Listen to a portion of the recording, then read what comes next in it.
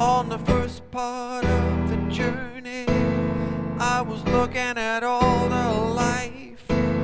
There were plants and birds and rocks and things. There was sand and hills and rings. The first thing I met was a fly with a buzz in the sky with no clouds. And the heat was hot and the ground was dry, but the air was full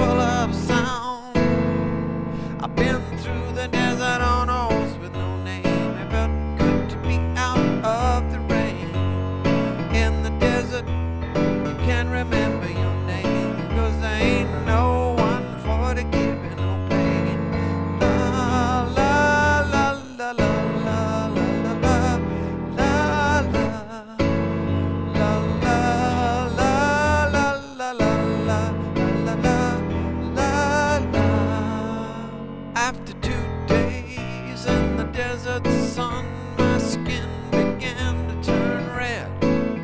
After three days in the desert fun, I was looking at a riverbed.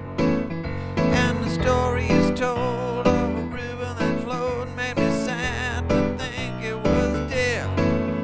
Cause I've been through the desert on a horse with no name. It felt good to be out of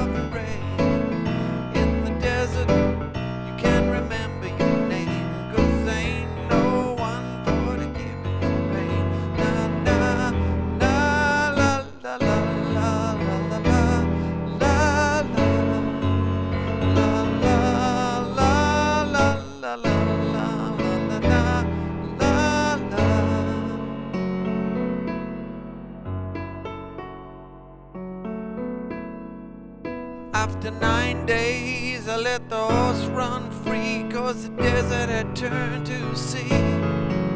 There were plants and birds and rocks and things, there was sand and hills and rings. The ocean is a desert where there's life underground and a perfect disguise above. Under the cities lies a heart made of ground.